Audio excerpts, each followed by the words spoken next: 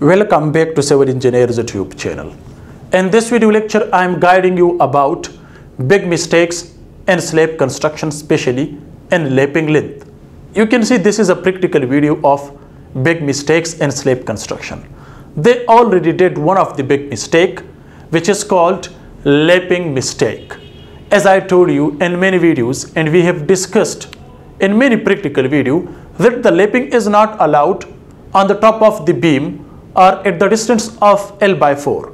That's why because of lapping length when you provide at the distance of L by 4, so there we have negative bending moment. To resist negative bending moment, don't provide lapping. Instead of lapping, you are able to provide crank bar or bent up bar or you can say extra bar. These are very important to resist negative bending moment. If you see at the middle of the beam or at the slab, we have positive bending moment. It means length divided by 2. That is the that is the mid of the beam or slab. If you provide lapping at this place, that is also one of the danger place for positive bending moment. At the end of the beam or at the support, there we have negative bending moment. But instead of extra bars or bent up bar, they provided lapping length and they provided more than 50% lapping length at this place. So this is one of the big mistake. So now let me guide you in this section. Guys, you can see this is the plan of the slab. The topic is big mistake in slab construction. So this is a slab.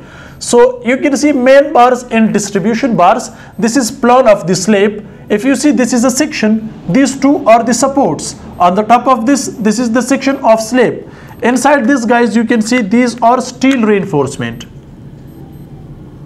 okay?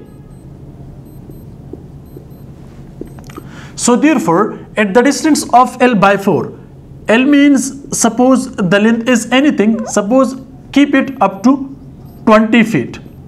So if that's 20 feet at the distance of L by 4 so this is L by 4 this is 5 feet this is 5 feet at the middle this is 10 feet. So total we have 20 feet. So you are not allowed to provide lapping at this place especially in RCC slab that's why because here we have negative bending moment when I applied the load on the top of this slab so when the load applied on the on this so it makes a graph same like this is negative bending moment here we have positive bending moment guys you can see so let me write positive and negative bending moment. Here we have negative bending moment.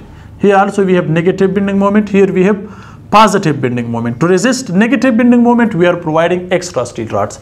Same guys, you can see this section here. We have the spacing uh, 6 inches C slash C center to center and the dia is 12 millimeter as I uh, showing you in this practical video. So guys, this is one of the big mistake. Don't provide and also uh, at, at, some places they provide at this place. So after L by 4 you are allowed to provide. Okay. So try to place the 40 feet or 60 feet length. That's why because in 40 grade steel rod we have 40 length or 12 meter. At 60 uh, 60 grade steel rod we have 60 feet okay? So therefore placed over all steel rods and try don't provide lapping at the middle. Don't provide lapping at the distance of L by 4 L by 4 as I discussed here L the total length divided by 4 or the total length divided by 3 it depend on longer span and shorter span. So guys this is one of the important video to guide you.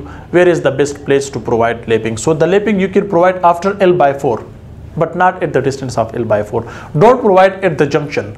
That's why because if you are providing so the lapping length should not be less than 60D where D is dia of steel rod. But instead of this they are just providing about 3 to 6 inches. So this is one of the danger place if you are providing lapping. So there we have more chances of cracks. To resist cracks don't provide lapping but provide crank bar or extra steel rods.